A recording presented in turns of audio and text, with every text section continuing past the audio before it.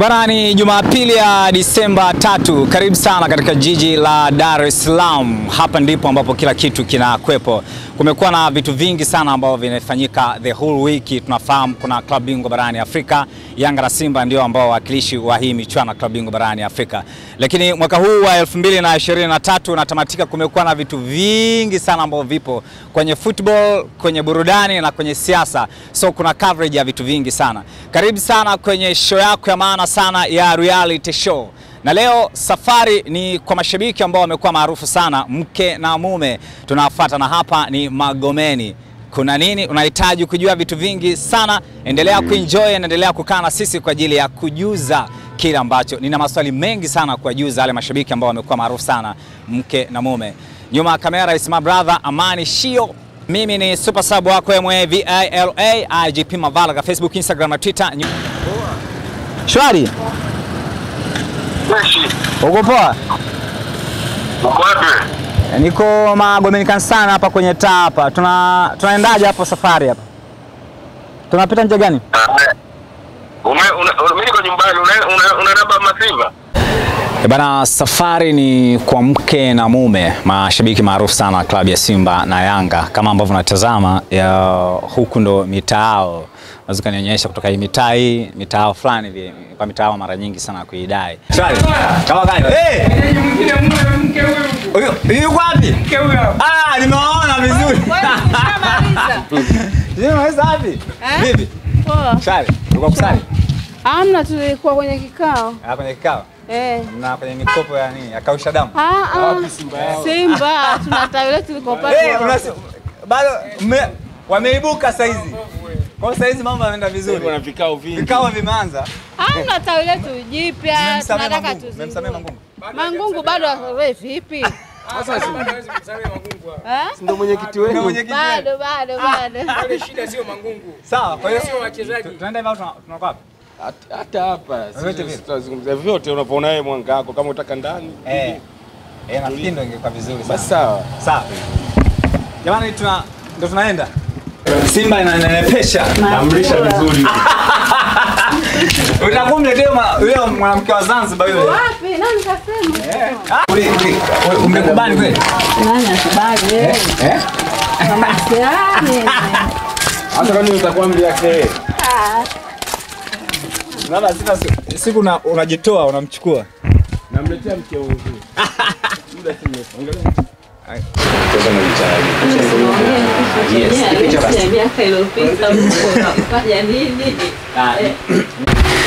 Ni Jumapili ya Disemba tatu mwaka 2023. Karibu sana kwenye pindi letu la maana kabisa la reality show, na leo tumepata bahati kubwa sana ya kutana na mashabiki maarufu sana wa klabu ya Simba na Yanga, mume na mke. Unajua, tumezoea mashabiki wengi huwa wanakwepa wanakuwa na system yao, lakini hawa walikuja kivyao tofauti kabisa. Wakati mimi personal, wakati naona mara ya kwanza kabisa kwenye uwanja wa Mkapa, nilidhani kama ni maigizo, inawezekana ni utani, lakini kwenye maisha halisi ni kweli kabisa, ni couples na ni mke na mume kabisa, na watu ni watu ambao wanaishi, wana familia.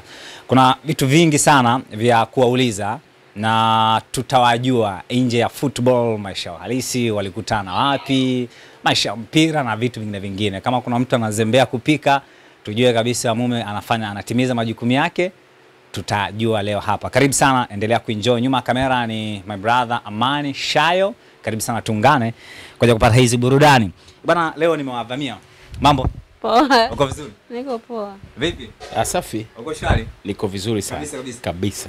Bwana, kwanza nimefurahi sana uh, kuwatembelea. Nadhani sio mara yangu ya kwanza, mara yangu ya pili kuja hapa. Kwa hiyo of course nimekuwa blessed. masivya ukondi wala nini, maisha mazuri eh? Sasa jamani, sinalishwa Eh. matunzo. Mtu kama una matunzo uweza ukakonda, lakini mi natunzwa, nachotaka napewa Chochote kile. chochote. Nikitaka kwenda Taifa, nikitaka kwenda wapi, mm. jezi nanunuliwa. Kwa hiyo haka sina shida. Sawa, sasa nataka fanya zoezi moja hivi. Hivi kukaa hapa si? Ah, Una kilo ngapi? Na kilo themanini na mbili. Ngapi? Tisini. Kwa kitu kimebalance. Sasa nataka um, ukaa hapa sawa. Hapo unaweza kukaa. Unakaa comfortable. Nataka basi njoo kae kwa hapa. Eh. Akuja sinanua nyingine bana. Ehe. Hapo. Sasa basi hivyo nataka kusogea kwa hapa kidogo. Eh, hapo kidogo. Au ma, au mwanamke upendi mwanaume mwanamke akiwa akiwa juu hapa ndo sawa. Sasa bana hapa nataka ushike mic kwa sababu sitaki kuamini kwamba mume wako yupo chini yako. Uh, wewe ni mwanamke unatimiza majukumu yako na kila kitu. Unavyomtazama hapo ni kiongozi wako, ama sio? Kuna vitu vingi ambavyo mnashia. Nataka ushike maiki umwambie neno lolote ambalo tangia mmekutana mmefunga pingu za maisha. Kwanza nimeziona hizi hapa, ndoa hii hapa jamani, hii hapa jamani, umeiona eh? Hii ni original, achana zile za Kariakoo. Nataka umwambie maneno mazuri ambayo hatazidi dakika moja, mazuri zaidi hata yale tangia umefunga ndoa inawezekana hujawahi kumwambia. Basi wakati huo unakuwa unamtazama mke wako na unamsikiliza really kabisa, yani hiyo really, sitaki uigize, nataka litoke rohoni kabisa. The next itakuwa ni Basilvia. Sawa, are you ready? Ready kabisa. Sawa, wakati wako. Mai mume, vipi? Ya safi. Uko poa? Aliko fresh tu. Yaani katika maisha yangu mume wangu na enjoy kuwa na wewe pia na, na furaha kuwa na mume bora. Wanaume ndio wako wengi bora, lakini kuna wanaume tofauti na wewe.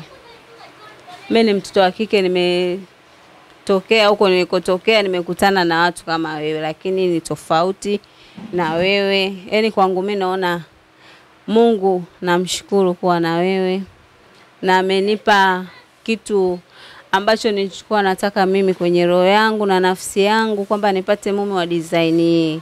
Na kweli Mwenyezi Mungu kanijalia nimepata mume wa design hii. Kiukweli mume wangu na enjoy maisha, na enjoy unavyonijali, na enjoy unavyojali familia yako.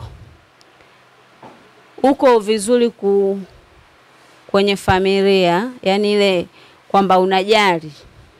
Maanake mtu mwingine ajali familia.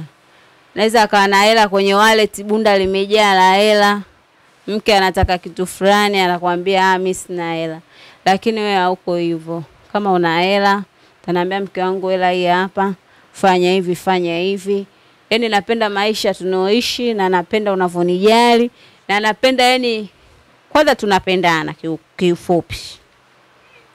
Pili, nikikwambia mme wangu, mimi nataka tufanye hivi tufanye hivi, huwa tunafanya. Kugombana sawa, tunagombana, lakini hatufikii ile kugombana eti tufike wiki bila kuongea. Na napenda una uvumilivu. Yaani naweza nikasema kwamba ngoja labda ni, ni, tuke, ni mkele au nimekukela. Yaani wewe una unapuuzia kwa dakika hiyo hiyo, huwa upendi zogo. Tofauti na mtu mwingine atataka zogo, mupigane, si mfanyaje, lakini wewe hauna. Mara nyingi saa nyingine mimi naweza nikawa mgomvi, labda nataka kitu fulani au labda kimeniuzi kitu fulani, kitu tu kidogo, labda mimi na panic, lakini wewe huwa au panic. Upendagi mambo ya ugomvi. Yaani ukishaona hapa mke wangu kakasirika, unatoka unaenda chumbani na huwa unaniambia mimi sipendi ugomvi. Kwa mimi mwenyewe nishazoea kwamba sasa hivi mume wangu yuko hivi yuko hivi yuko hivi. Na hata mimi mwenyewe nishaiga kwamba spendi niwe nagombana na wewe. Sababu kugombana na wewe unakuta nyumba inakuwa na mfarakano. Pia hata malaika wawili wanakuwa wengi katika ndani ya nyumba. Yaani tu mimi nachosema kwamba namshukuru Mwenyezi Mungu amenipatia mume bora. Mume anajali familia, mume anajali familia yangu. Baba yangu anampenda, mama yangu anampenda, japokuwa kafariki, lakini alishafanikiwa kumuona. Kiukweli namshukuru Allah. Mambo mengine namshukuru Mwenyezi Mungu, tuna mtoto Silva. Mwenyezi Mungu akipenda nitapata mtoto mwingine inshallah.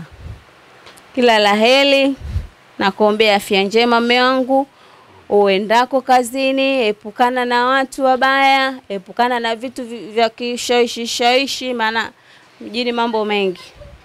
Tujenge familia, tuwe na maisha bora, na si tumiliki nyumba nzuri, magari, watoto wazuri wenye afya njema, watoto wasome, maisha yaendelee. Sawa, nashukuru sana mke wangu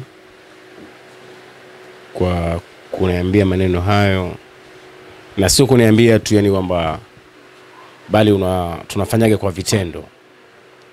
Kwao ni vitu ambavyo ni vya kujivunia. Mimi mwenyewe najivunia sana kuona mke bora kama wewe, kwa sababu sasa hivi maisha wanawake ni wengi na kila mwanamke mwenye ana tabia yake lakini mimi wewe nakuamini na tunapanga mipango yetu mizuri tu ya maisha yetu kila siku jinsi ilivyo, tufanyeje, tuendelee, tufanye kitu gani, na hadi senti yangu ya mwisho unajua kama mimi mume wangu leo ana shilingi ngapi, leo iko hivi, unajua.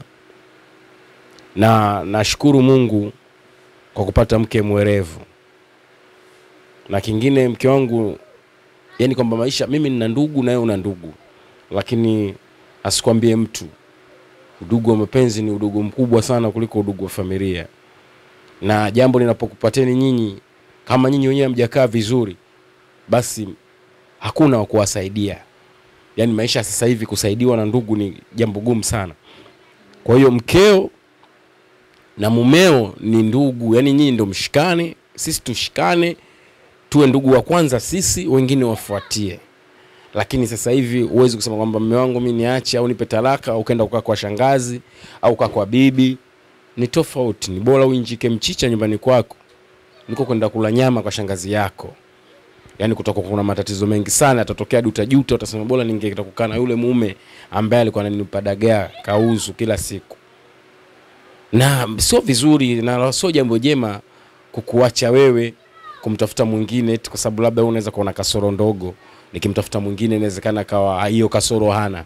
Hapana, yaani mimi kwako labda nikurekebishe kwamba hichi kitu mimi sikipendi, rekebishika hapa ili maisha yaendelee, kwa sababu nikisema nakuacha ili kwa sababu kuna kasoro fulani, eti nakuacha kwa sababu umefanyia kitu fulani, huyo tutakayempata hatoweza kutimia hivyo vyote. Kwa hiyo ni bora nikurekebishe kwamba hapa fanya hivi, fanya hivi, tunaondoka. Na ndio maana unakuta hadi sasa hivi tangu tulivyoana mwaka 2014 mpaka sasa hivi 2023 bado tupo pamoja. Kwa hiyo ni kwamba ni jambo sio jambo dogo. Tuna mtoto wa kiume yule pale. Kwa hiyo tunamshukuru Mungu kwa hilo, tumezaa mtoto. Nashukuru Mungu hadi sasa hivi tuna afya njema.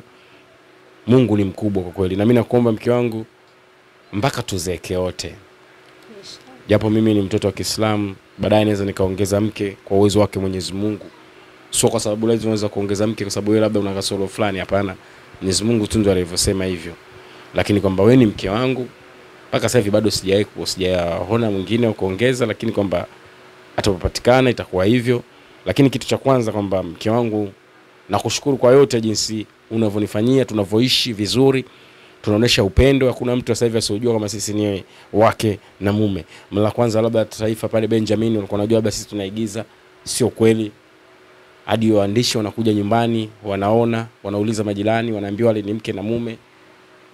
Na kingine mke wangu, tukiacha mambo ya, ya mahusiano kwamba ndio maana tulikubaliana yote, hata, hata timu zetu dabi Simba na Yanga ni timu kubwa sana ambazo ni kubwa sana Afrika na zinafanya vizuri sana Afrika kwa hivi sasa. Nadhani kwamba Mungu akizijalia hizi timu zinaweza likaleta vikombe hapa katika ardhi yetu ya Tanzania, kati ya Simba ama Yanga, na zisitufanye kuwa maadui. Simba na Yanga ni timu tu ambazo tunazipenda, tumetokea kuzipenda. Uki- uki- uki- Ukichunguza sisi atu, pombe eh, atu, hatuendagi mizi, kwenye miziki miziki. Kwa hiyo mpira ni kama starehe yetu na itatufanya kuwa hizi dabi ni kuunga uhusiano mzuri kati yangu mimi na wewe, na sio kutufanya zitupagaranishe kwamba tukae pembeni. Mpira sio wadui, bali mpira ni furaha, na mpira kama ikiwaunganisha kuwa pamoja na hii ndoa yetu, basi itakuwa tumefika mbali sana. Kila la heri, naomba Mwenyezi Mungu atujalie tuishi milele. Amina. Asante. Bana, mimi nimefurahi sana na namna ambavyo